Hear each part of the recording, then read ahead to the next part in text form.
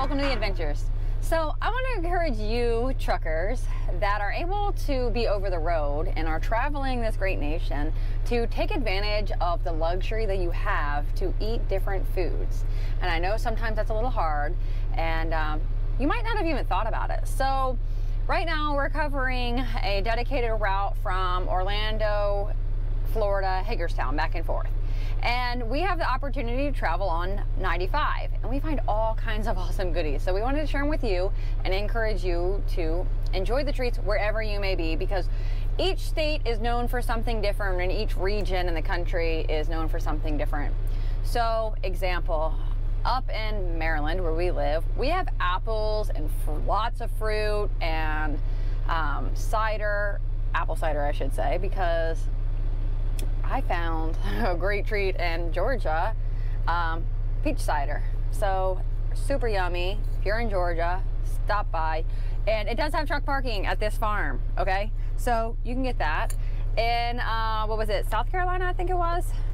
Yeah, South Carolina. We found this awesome pecan shop. It's called Young Plantations. They have what you would find in the South. They have your pecans, they have your peanuts. So these are cinnamon, cinnamon sugar. They call them spice pecans. Um, they also have muscadine cider, really good. This you're not gonna find up north, definitely not.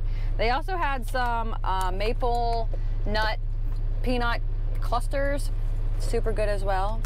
And then this is really, really strange. So this is from Wisconsin, but you can't find it up north. This is buffalo cheese curds. Excuse our wrapper because we already been digging into them. So these are, like I said, are from, it's Wisconsin Cheese Shop, but you can only find them in the South. And you're like, scratch my head, that's strange. And I asked the lady why you can't find this up north, even where we live. Uh, the answer was, is because y'all have dairy farms all around you and you don't enjoy the, the different things like cheese curds. I know you can find them. I think that was Georgia as well. I think that's a truck stop. We found them at TA's at those. And I think you can also find them in Amarillo.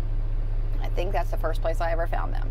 Um, and then you can go down in Florida, you can get fresh citrus and um, different things like that. So when you're out and about and you're traveling this great nation, take advantage of it and try things that you would have never tried before and enjoy it, all right? Don't just enjoy the sights, but enjoy the taste and the amazing things that are out there. Stay safe, and until next time, enjoy the adventures. Bye.